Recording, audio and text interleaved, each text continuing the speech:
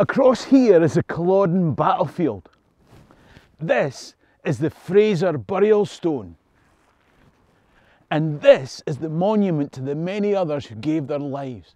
But this monument doesn't even begin to count the number of lives lost in the conflict that I'm going to describe. I want to take you on a journey and ask you to think about Culloden in a way that you probably haven't done before. Will you come? If you're interested in the people, places and events in Scottish history, then click the subscribe button at the bottom right. In the meantime, let me tell you a story.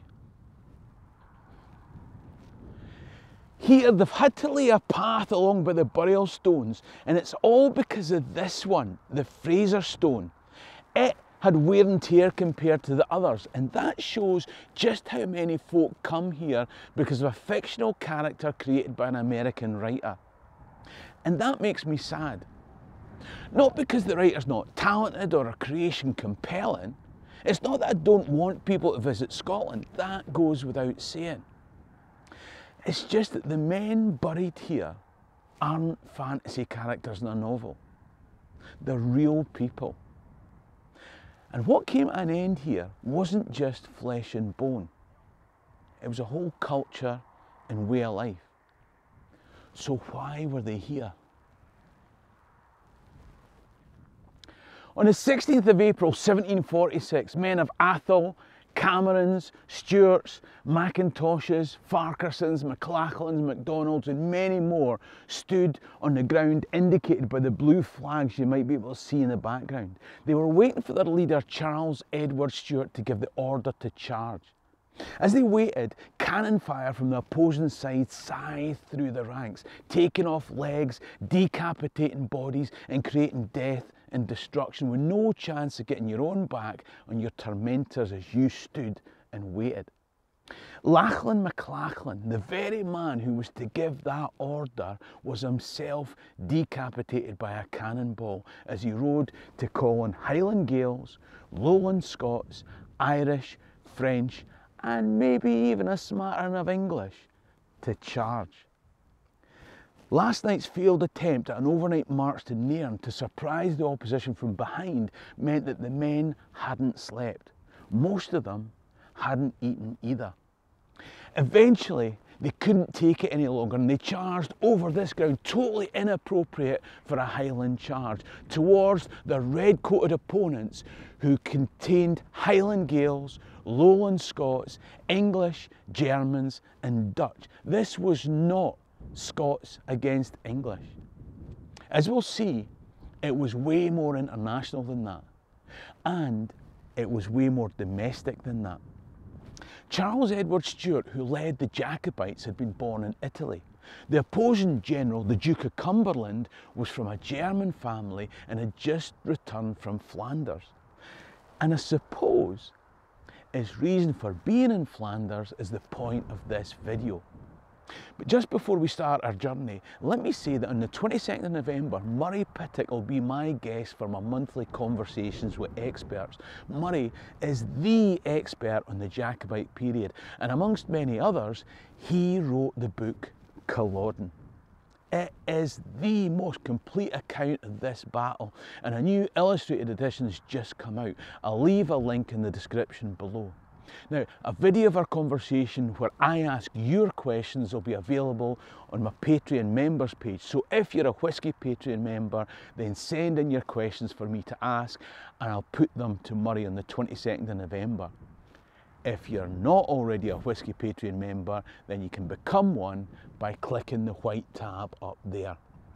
Now, Whenever people talk about this battle, they talk about it as the end of a series of Jacobite counter-revolutions in support of the Stuart monarchy that started with William of Orange overthrowing James VII of Scotland and the Second of England in a coup in 1688.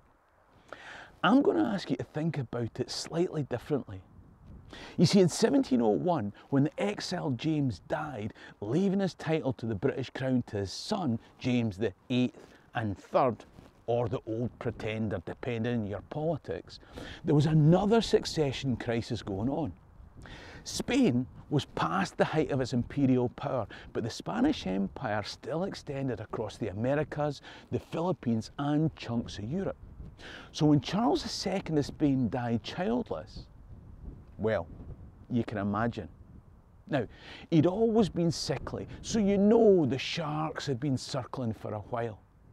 He had two sisters. One had married Louis XIV of France, and the other had only married Emperor Leopold I, the Holy Roman Emperor, the two biggest kids in the playground. There may be trouble ahead. Look, I can't go into every detail of the various wars that are about to happen. There are more moving parts than a Swiss timepiece. And ironically, they were neutral.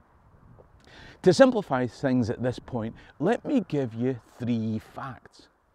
One, to smooth over difficulties with this Spanish succession, Louis XIV, the husband of one of the dead guys, well, the dead guy, and also his main geopolitical rival, William of Orange, the King of Scotland, England, and Ireland, agreed a treaty to divide the Spanish Empire, weakening it to their benefit and avoiding war.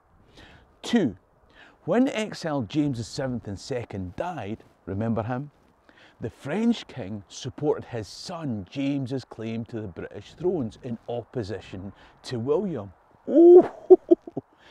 Three, the Austrians of the Holy Roman Empire didn't give a stuff about British and French treaties or who was King of Scotland, England, and Ireland. They wanted their man to be King of Spain. Can you imagine if the grandson of the French king was also the King of Spain? That's way too powerful a family. It was war. Now, during this war, the French sponsored an invasion of the British Isles to put their man, James the Eighth, Third, the Old Pretender, whatever.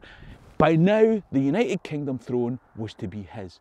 Now, James fell ill and it didn't go ahead. But this was only a tiny part of the war that included the British, the French, the Spanish Empire, the Dutch Republic, and more. Their imperial and trading interests throughout the globe meant that conflicts raged in Northern Europe, Western Europe, Eastern Europe, the Mediterranean, Indian subcontinent, South America, North America, and the West Indies. In the process, some Native American tribes in Florida were all but wiped out, which might just seem like a sideshow in the passing, but that's exactly the point we'll come back to. Trust me. By 1713-14, everyone was spent like prize fighters, and they agreed a truce that nobody was entirely happy with. The British did get Gibraltar, more control of the seas, and the French acceptance of the Hanoverians as the new British monarchs, leaving the Stuarts out in the cold. Until the Spanish let them in later. The cost had been an estimated three quarter of a million casualties on all sides. They probably didn't even count the Native Americans. The truce was so unstable that four years later the Spanish broke it in order to get back some of the territories that it had lost. Now Spain was opposed by Britain, France, Austria and the Dutch, which is why it was called the War of the Quadruple Alliance. I'll tell you who was on the side of the Spanish, the Jacobites. When Spain launched a seaborne invasion, it was blocked in the channel in the south, but in the north, Spanish troops landed and joined up with Jacobite forces who based themselves at Eilean Castle before losing the Battle of Glen Shiel in 1719. But Scottish Jacobites weren't the only pawn in the Spanish crown. They also landed in Brittany in an effort to raise the Bretons against the French state. The French similarly used the Basques and the Catalans against the Spanish. Gaels, Basques, Catalans weren't really different from Native Americans in Florida. Have you ever wondered why there were no Jacobite uprisings between the one that ended at Glen Shiel in 1719 and here at Culloden 25 years later? Here's a thought. The War of the Austrian Succession started in 1740. Charles VI, the ruler of the Austrian Habsburg Empire, died, and there was a family tiff about who inherited the empire and who got that fish shaped vase that always sat in the dining room table. Initially, the empire was to go to Charles's daughter, Maria Theresa, even although lassies weren't supposed to inherit. But when Charles died, it turned out that folks that had previously agreed to this changed their mind. What are the chances? A family feud became a major European war because it turned out that ordinary folks in Manchester, Salzburg, Hanover, Amsterdam, and Moscow had really strong opinions about who should get that vase. And ordinary folks in Paris, Madrid, Stockholm, Naples, and Berlin felt just as strongly in the other direction. And of course, the conflict crossed the Atlantic and extended to the Indian subcontinent. Who would have thought that all these folks cared so much about the provisions of a will written in Europe?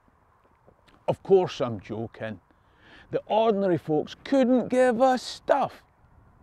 They weren't the people who'd be winning and losing.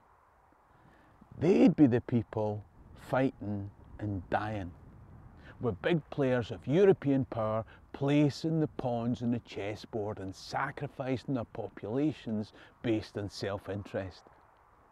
The on-off relationship between France and Spain was back on again, and part of the French and Spanish self-interest was an invasion up the Thames in 1744 to put the Stuarts back on the British throne.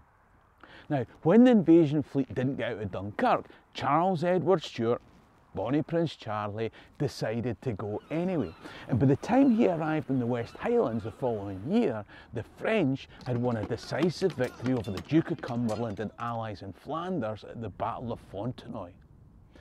The fact that Bonnie Prince Charlie had raised a Highland uprising was an added bonus to the French because Cumberland had to leave Flanders cross the channel and head north until he sat astride his horse along this line of red flags representing the British Army troops where they fly today.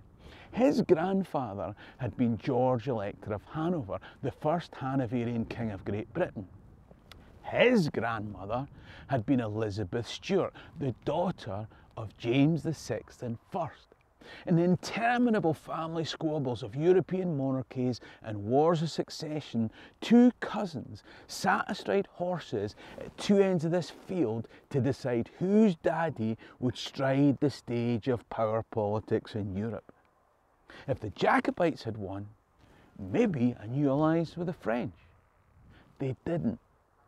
And when the War of the Austrian Succession was finally settled and treaties agreed, the European powers involved still weren't happy with the outcome that they'd signed up to. And that led to the Seven Years' War.